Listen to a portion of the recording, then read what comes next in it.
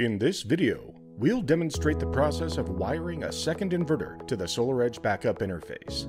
This video was recorded in a closed training environment.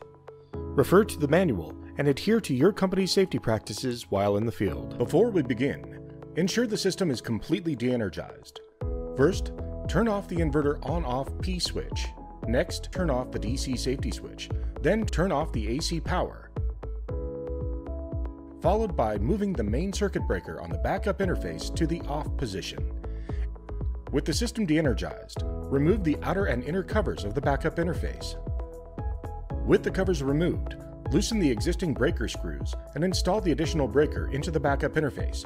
Then tighten the four screws that secure the breakers to the bus bar.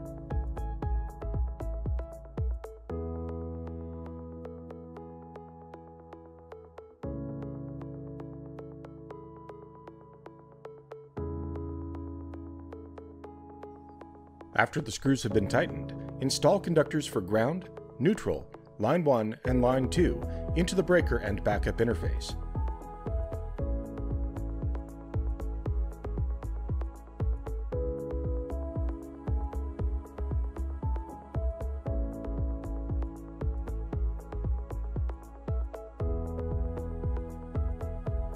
Now move over to the Energy Hub connection unit and install the wires for ground, neutral, line 1 and line 2 in the grounding bus bar and AC terminal blocks.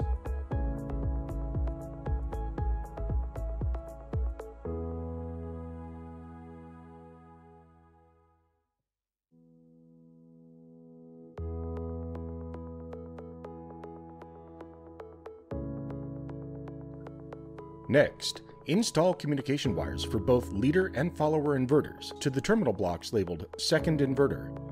We recommend using the same color combination that you are using for the existing backup interface communication wires. You'll connect four wires to the second terminal block and three wires to the third terminal block.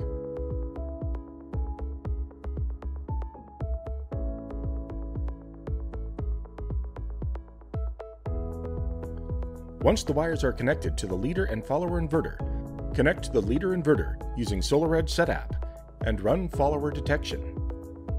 Once the detection process is complete, enable backup on the leader inverter, and finally, set your desired battery preferences,